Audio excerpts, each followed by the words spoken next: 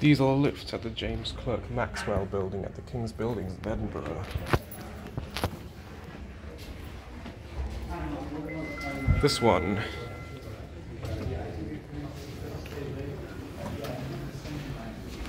Can go down to two.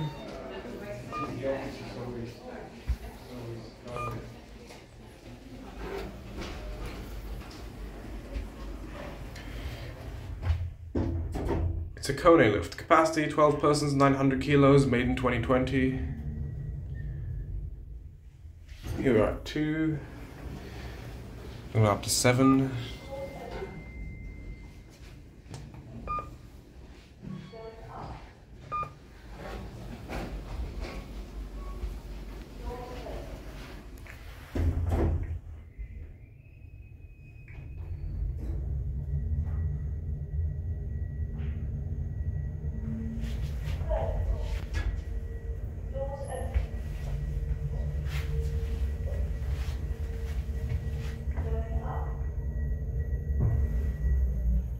Here we are at seven.